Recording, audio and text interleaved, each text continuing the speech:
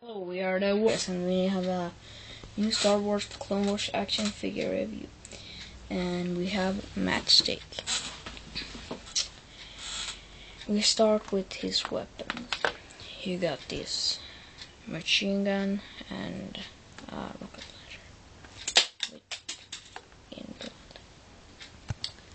Pretty nice gun. And you got this pistol.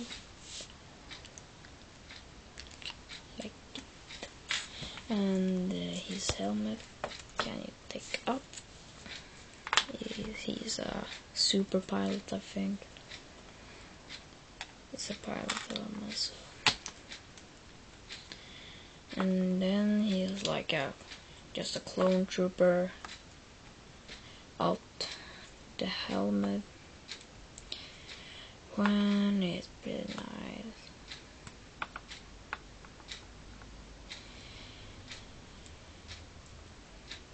You can uh,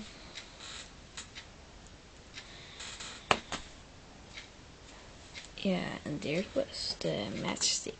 Action figure review bye bye and maybe video. Bye